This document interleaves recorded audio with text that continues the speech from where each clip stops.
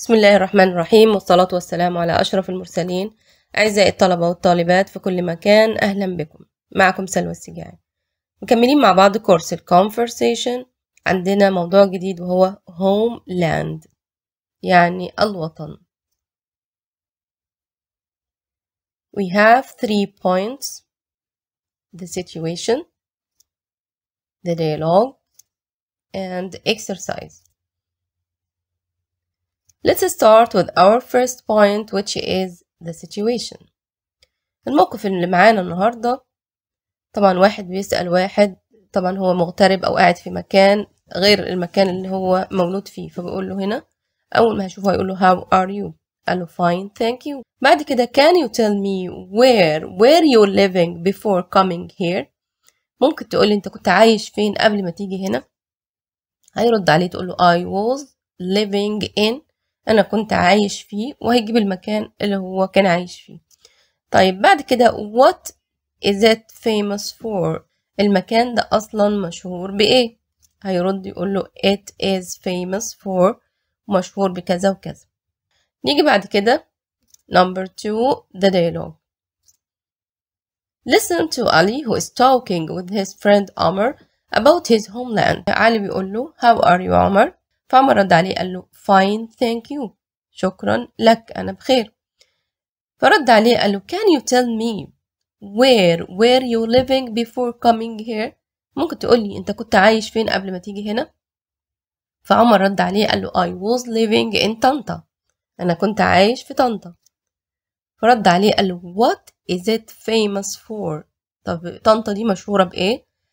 عمر رد عليه قال له it is famous for making delicious sweets. مشهورة بصنع الحلوى اللذيذة. فقال له what do you like about it? طب أنت بتحب إيه فيها? قال له I like its kind people. أنا بحب ناسها الطيبين. فعلي قال له I want to visit it soon. أنا عايز أزورها قريب. رد عليه عمر قال له you are welcome. أنت مرحب بيك على الرحب والسعة. we can go together anytime you want ممكن نروح مع بعض في أي وقت أنت عايزه فعلي رد عليه قال له thank you so much شكرا جزيلا لك Now watch this video and concentrate during the conversation between Ali and Omar and, and come back quickly to me to answer the exercise. How are you, Omar? Fine. Thank you. Can you tell me, where were you living before coming here? I was living in Tanta. What is it famous for?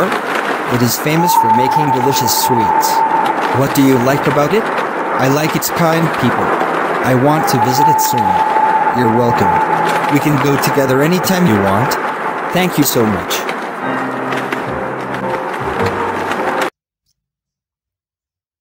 دلوقتي جينا بقى للاكسرسايز إزاي السؤال ده هنحله في الامتحان لما يجيلنا زي ما عودتكم قبل كده في كل فيديو وهنكرر لآخر فيديو بنقول أول حاجة عشان نحل ال dialogue في الامتحان نقرأ ال title كويس. عندي listen to Ali who is talking with his friend Amr about his homeland. فدي أول حاجة. تاني حاجة طبعا بعد ال title هنقرأ كل ال dialogue قبل ما نحل نقطة نقطة ما ينفعش. بعد كده ال spaces لو عندي question mark يبقى ده سؤال. لو عندي full stop بتبقى answer. آخر حاجة براعي الزمن. بعد كده بيقول لي هنا علي how are you عمر؟